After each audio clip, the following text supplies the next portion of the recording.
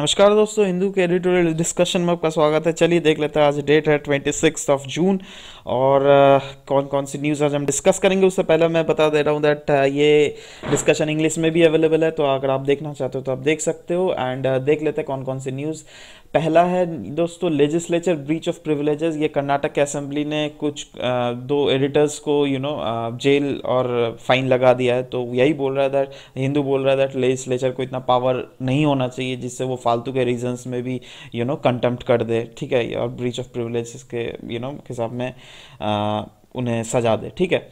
Next है smart cities के बारे में ये काफ़ी अच्छे अच्छे पॉइंट्स है, ये मैं अभी नहीं बोल रहा हूँ। अब चलिए आर्टिकल में डायरेक्ट डिस्कस करता हूँ। ये इंडिया यूएस के रिलेशन के बारे में मोदी जी गए हुए हैं तो अभी तो दो तीन दिन यही आएगा इंडिया यूएस रिलेशन तो कुछ है अच्छे अच्छे पॉइंट्स देख लेते हैं। नेक्स्ट है क्रिकेट के क्राइसिस के बारे में आपको पता होगा दैट अभी यू नो टसल चल रहा है कैप्टन और यू नो कोच के बीच में। और भी कुछ कुछ यू नो कुछ कुछ प्रॉब्लम्स आ रही है कि क्रिकेट में लोधा कमेटी के रिकमेंडेशंस के बाद। तो वही बोल रहा है दैट लोधा कमेटी के रिकमेंडेशंस अभी उतना सक्सेस नहीं हुआ है। ठीक है तो क्या करना चाहिए वो रिकमेंडेशंस कुछ कुछ दिए हुए तो चलिए देख लेते हैं। पहला न्यूज़ इसमें पहले न्यूज़ में दोस्तों पहले मुद्दा मेन डिस्कस कर लेते क्या मुद्दा है। कर्नाटक के असेंबली ने रिजोल्यूशन पास किया जिससे उन्होंने the editors of two tabloid मतलब टैबलॉइड होता है is a kind of mini newspaper ठीक है?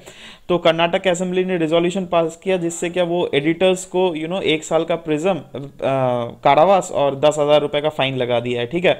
तो आ, क्यों लगाया गया? क्योंकि ये लोग इन लोगों ने क्रिटिसाइज किया था कुछ उन लोग के लिए ठीक है? तो वही तो इसी मुद्दे पर आर्टिकल डिस्कस करता है दैट लेजिस्लेचर को उतना ज़्यादा पावर नहीं होना चाहिए जिससे क्या वो यू you नो know, कोई भी फालतू के रीजंस में ब्रीच ऑफ़ प्रिविलेजेस के केस में उस, उसमें कंटेम्प्ट डाल दे ठीक है किसी के ऊपर? तो देख लेते हैं कॉन्स्टिट्यूशनल प्रोविज़न इससे क्या क्या रिलेटेड है और यहाँ पर केस एक्चुअली में क्या क्या हो रहा है? देखिए कॉन्स्टिट्यूशनल के तहत हमारे संविधान ने पावर दिया that you know certain privileges on legislative institution कुछ कुछ प्रिविलेजेस लेजिस्लेचर्स को दिए गए हैं। क्यों? क्योंकि उन्हें भी अपना you know freedom of speech को प्रोटेक्ट करना होता है ठीक है? And ensure the undue interference और उस uh, हर लेजिस्लेचर को इंश्योर करना पड़ता है दैट कोई भी फालतू के लोग हमें इंटरफेयर uh, ना करें हमारे यू नो वर्किंग में ठीक है? तो बट यहाँ पर केस क्या है ना? यहाँ पर केस है दैट ये लोग अपना हाउस का इमेज बचा रहे हैं और अपने इंडिविजुअल मेंबर का इमेज बचा रहे हैं। ठीक है? अब देखिए क्रिटिसाइज तो कर सकते हैं ना। इस इन, इन जो एडिटर्स लोगों है ना? एडिटर्स लोगों ने आ, मतलब इमेज हाउस के बारे में कुछ उल्टा पुल्टा बोला था। ठीक है? और इंडिविजुअल मेंबर्स के बारे में। तो उन्होंने तो क्रिटिसाइज किया था ना यार। उन्होंने तो as such you know course of functioning जैसे कॉन्स्टिट्यूशन में लिखा हुआ है अगर कोर्स ऑफ़ फंक्शनिंग में बाधा डाले तो उसको गिरफ़्तार या फिर फाइन लगाओ। तो ऐसा तो कुछ नहीं किया था ना। उन्होंने क्रिटिसाइज किया था, सिर्फ़ आर्टिकल यही बोल रहा है। ठीक है? तो आर्टिकल क्या डिमांड कर रहा है? दैट ठीक है, जो हो गया तो हो गया। ये क्यों, ये फ्यूचर में इसलिए ना हो तो इसलिए ये जो जो भी कंटेम्प्ट वंटेम्प्ट वाले कोर्सेज है उसको कोडिफाई कर देना चाहिए। ठीक है? क्योंकि absence of codification in house leads to the uh, freedom of uh, freedom of decision of freedom of decision is kept on the house itself ठीक है? क्योंकि क्योंकि कोडिफिकेशन नहीं है तो हाउस खुद अपना डिसाइड करेगा। मतलब स्टेट लेजिस्लेचर के बाद खुद ही पावर आ जाता है दैट इसका कंटेम्प्ट का ये आ, हम डिसाइड करें या you know high court decide करे। तो इसीलिए बोल रहा है दैट एक लॉ बनाओ जिससे कोडिफाई सब कुछ कर दो, जिससे प्रॉब्लम ना हो, ठीक है? And action should be should not be taken unless there is move और attempt to obstruct the functioning of house यही जो मैंने अभी डिस्कस किया, ठीक है? जब तक कोई भी आदमी मतलब फंक्शनिंग के हाउस के फंक्शनिंग को रोक नहीं रहा है तब तक उसके ऊपर एक्शन नहीं लेना चाहिए। And law must be there to protect the independence of house and not to take the liberty of critics ठीक है लिबर्टी ऑफ़ क्रिटिक्स लेकर क्या करोगे यार? ऐसा लॉ बनाओ जिससे हाउस के इंडिपेंडेंस को अगर कोई हानि पहुँचाए तो आप यू you नो know, उसको जेल में भरो। ठीक है? या फिर फाइन लगाओ वट है ना? और higher judiciary should also lay down the limit of penal action for breach of privileges higher judiciary को भी ये अपील कर रहा है। मतलब in in this case high court and supreme court भी को भी बोल रहा है दैट ठीक है भैया, आप भी कोई एक्शन लो, ऐसा थोड़ा ना जो कुछ भी इंडिया में चल रहेगा, ठीक है? चलिए देख लेते हैं अब नेक्स्ट है दोस्तों स्मार्ट सिटीज़ के बारे में। यहाँ पे बोला गया है स्मार्ट सिटीज़ का बहुत स्मार्ट सिटी स्मार्ट सिटी बोल रहा है, ठीक है? बट हमारे पास तो डेटा ही नहीं है यार। जब तक डेटा नहीं हो, तब तक कोई चीज़ कैसे आप इंप्लीमेंट कर पाओगे, ठीक है? तो यहाँ पर देख लीजिए कुछ स्मार्ट सिटी के बारे में दिया हुआ है। अगर आप पढ़ना चाहे तो पढ़ लीजिए। वही अच्छी अच्छी सारी बातें साइबर डिफेंस होना चाहिए टेक्नोलॉजी रेजिलियंसी मैंने बहुत अच्छे अच्छे wifi mobility strategic planning renewable energy e governance e transportation ठीक है? ये तो स्मार्ट सिटी में होना चाहिए, ठीक है भाई? वो सब बोल रहा है। मैं नहीं बोल रहा हूँ दैट नहीं होना चाहिए। पर अभी का रियल पिक्चर क्या है? देखिए आपको पता होगा दैट रिसेंटली यू नो बहुत सारे सिटीज़ को as a smart city you know कल का ही न्यूज़ या परसों का न्यूज़ था मैंने बोला था। अगर नहीं आपने देखा तो देख लो वीडियो वो अच्छे से एक्सप्लेन किया हुआ है। तो अभी का रियल पिक्चर क्या है बेसिकली हमारे Uh, मतलब जिन जिन सिटीज़ ने whatever the cities has won the winning city proposal उन्होंने किस मुद्दे पर ये जीता है, पता है? उन्होंने अफोर्डेबल हाउसिंग के मुद्दे पर जीता है।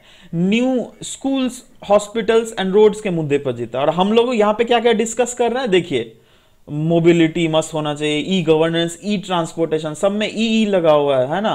और साइबर डिफेंस इतने बड़ी बड़ी बातें हम लोगों ने किया और इन्होंने जीता किस लिए affordable housing new school housing and roads मतलब समझ रहे हैं? क्या मतलब हमारे बेसिक सर्विस जो अर्बन एरियाज़ में वही तो अभी मिस कर रहा है यार। और हम लोग we are expecting for you know smart cities तो यहाँ पे आर्टिकल में और भी बोला गया दैट स्टेट और लोकल गवर्नमेंट हैव मतलब उन लोग के पास स्टेट गवर्नमेंट और लोकल गवर्नमेंट के पास का डेटा ही नहीं है जिससे वो एनालाइज कर पाए दैट हमारा जो कम्युनिटीज है डिफरेंट अलग अलग सेक्टर में जो कम्युनिटीज है उनको उन्होंने एक्चुअली नीड क्या है। जब तक हमारे पास कोई डेटा नहीं है तो हम उसका नीड कैसे समझेंगे ठीक है?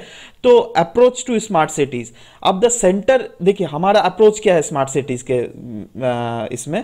तो बोला गया that centre will manage urbanisation and approach to the chosen cities मतलब सेंटर ही मैनेज करेगा क्योंकि ये सेंट्रल फंड से ही काम होता है, ठीक है?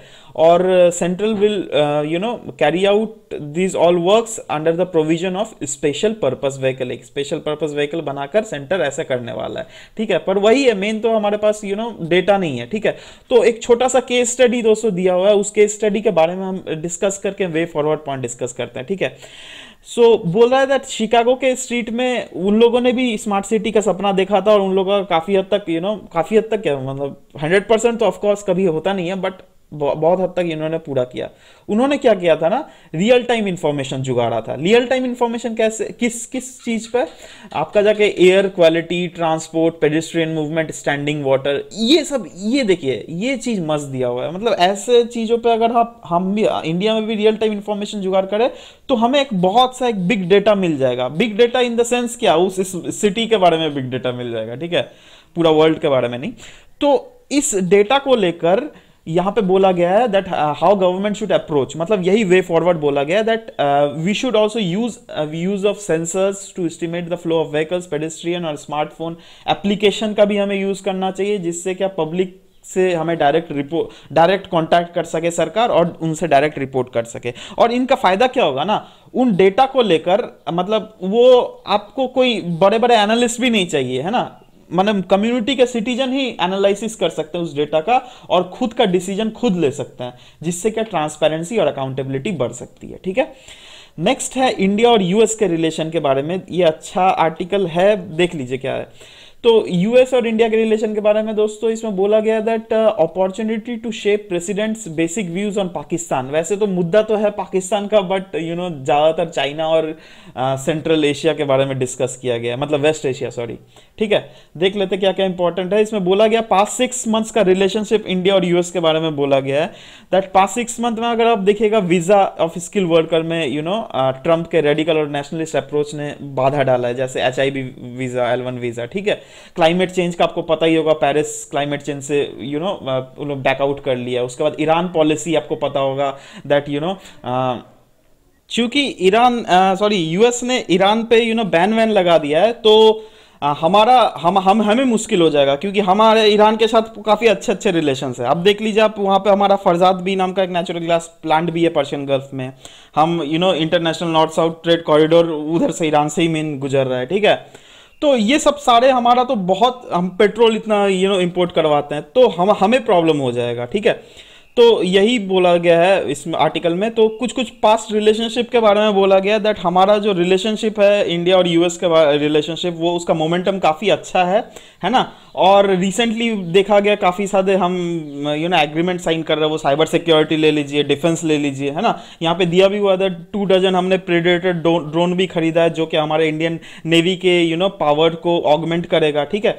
तो यही बोल रहा है जितने भी सारे हमारे सॉफ्ट या हार्ड पावर जितने भी है उसका फ़ायदा लेकर हमें यू नो सेंसिटिव इश्यूज़ जो क्या ईरान वाला है अभी जो मैंने डिस्कस किया उनको देखना चाहिए ठीक है? मतलब हम डील कर हम हम लोग को यू नो कंसेशन लेना चाहिए यार।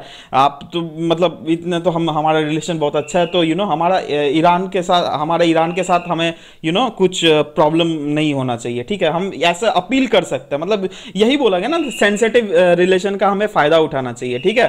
साथ ही साथ बोला गया दैट ज्वाइंट वर्किंग ग्रुप जो है इंडिया और यू नो यूएस के बारे में तो उसका यू you नो know, हम हम हम क्या करते हैं ना उसमें टेक्नोलॉजी ट्रांसफ़र में भी काफ़ी ज़्यादा हम यू you नो know, आपस में कोऑर्डिनेट कर सकते हैं।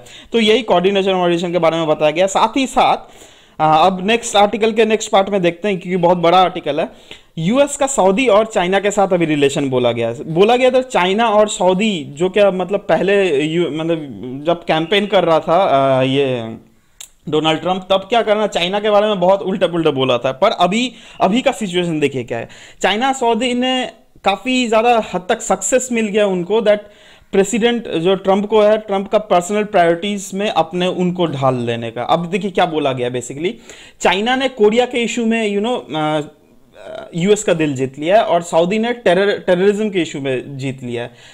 इसने कोरिया के इशू में कैसे जीता है? दैट चाइना यूएस ने कोरिया से अपील किया था दैट आप नॉर्थ कोरिया के न्यूक्लियर प्रोग्राम को यू you नो know, थोड़ा चेक वेक कीजिए। तो उसने किया था काफ़ी हद तक यू नो अटेम्प्ट किया था। तो इसीलिए यू नो क्या बोलते हैं यूएस का थोड़ा सॉफ्ट सॉफ्टनेस हो गया उधर क्या बोलते हैं चाइना के बारे में। इसीलिए आप देख रहे हैं रिसेंटली आप कोई न्यूज़ नहीं सुनिएगा साउथ चाइना सी का यही रीजन है ठीक है? क्योंकि अभी यूएस सॉफ्ट हो गया है चाइना को लेकर। ठीक है, थोड़ा मोटा सॉफ्ट हुआ है। ठीक है, इसलिए moderate the term Trump's hostility क्यों क्योंकि मैंने पहले ही बोल दिया था, पहले तो क्रिटिसाइज किया था बट अभी वैसा कुछ है नहीं। और सऊदी के केस में क्या है ना दैट इसने ट्रंप का सपोर्ट इनको मिल गया है कतर के खिलाफ। ठीक है और रिसेंटली आपको पता होगा दैट सऊदी मतलब ये सऊदी आईएस के बारे में भी ये लोग काफ़ी ज़्यादा क्रिटिकल है तो इन सब तरफ़ से सपोर्ट है मतलब यूएस का सऊदी को लेकर, ठीक है?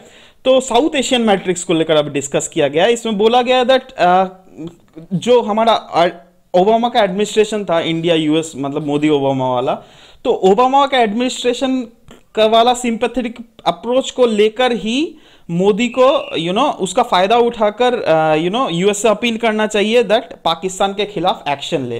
तो वैसे तो मेन uh, जो इसका हेडिंग था पाकिस्तान को लेकर था पाकिस्तान के खिलाफ बट यू नो बीच में ज़्यादा इंक्लाइंड uh, हो गया आपका चाइना और सऊदी uh, को लेकर ठीक है? तो देख लेते हैं नेक्स्ट आर्टिकल ये है रिसेंटली दोस्तों क्रिकेट में जो क्राइसिस आ रहे हैं, ठीक है? उसमें देखिए, सुप्रीम कोर्ट का आपको पता होगा दैट सुप्रीम कोर्ट ने लोधा कमेटी की रिकमेंडेशन के तर्ज को लेकर यू नो कुछ रिफॉर्म लाए थे क्रिकेट में, जहाँ पर बोला गया था जो भी कॉन्फ्लिक्ट्स और यू नो एथिक्स के रिलेटेड कुछ भी अगर आकर चीज़ हो रहा है तो उस, उससे निजात पाया जा सके। बट उस उस चीज़ ने जो भी रिफॉर्म हो रहा है ना, उसने बैकफायर कर दिया अभी। वही बोल रहा है। तो रिसेंट कॉन्ट्रोवर्सी क्या है? देखिए कोच और कैप्टन कोहली और यू नो कुंबले के बीच में आपको पता होगा। Resignation of one of its administration Ramachandra Guha ji ने रेजिग्नेशन दे दिया, ठीक है? तो इंपेंडिंग क्राइसिस कौन कौन से क्राइसिस आने वाले हैं या फिर कौन कौन से क्राइसिस चल रहे हैं, वो देखते हैं। Indian cricket now face crisis of leadership and confidence ये तो मैंने अभी बोला, है ना? And Supreme Court is already mulling a petition across numerous sport देखिए सुप्रीम कोर्ट जो है ना क्रिकेट में तो लेकर कर ही रहा है, ऊपर से अलग अलग स्पोर्ट बॉडी को भी बोल रहा है दैट भैया, आप भी अपने में लोड़ा कमीशन का रिफॉर्म लाओ। ठीक है अब देखिए क्रिकेट वाला तो फेल हो गया ऑलमोस्ट फेलियर की तरफ़ बढ़ रहा है ठीक है? तो ये बोल रहा है दैट हमारा जो स्पोर्ट फेडरेशन है क्योंकि सब स्पोर्ट फेडरेशन में यू नो अपील कर रहा है तो स्पोर्ट फेडरेशन में कहीं ये डोमिनो इफ़ेक्ट ना पड़ जाए और सब जगह सा, सारा स्पोर्ट फेडरेशन बर्बाद ना हो जाए ठीक है? तो वे अहेड क्या इसमें बोला गया है? एक फ्यूचरिस्टिक अच्छे बातें कुछ कुछ बोली गई है। ठीक है भैया देखिए क्योंकि लोधा कमेटी का रिफॉर्म यू नो उतना आ, दिख नहीं रहा है कुछ रिज़ल्ट नहीं दिख रहा है। तो इंस्टीट ऑफ़ यो क्या बोलते हैं लोधा कमेटी रिफॉर्म हमें कंटिन्यू रखना चाहिए हमारे स्टेट एसोसिएशन जो भी हमारे पहले वाले स्टेट एसोसिएशन थे, उन लोगों के साथ कंटिन्यू रखना चाहिए, साथ ही साथ कुछ कुछ निगोशिएट भी करना चाहिए, जिससे क्या सेंट्रल गवर्नमेंट उन लोगों के साथ निगोशिएट करके कुछ अच्छे अच्छे रिफॉर्म्स ला पाए, जिससे अच्छी अच्छी बातें हो सके, ठीक है? तो दोस्तों, चलिए अभी तक यही रखता हूँ, अब नेक्स्ट डिस्कस करते हैं हमारा करंट अफेयर मॉड्यूल तब तक के लिए बाय टेक केयर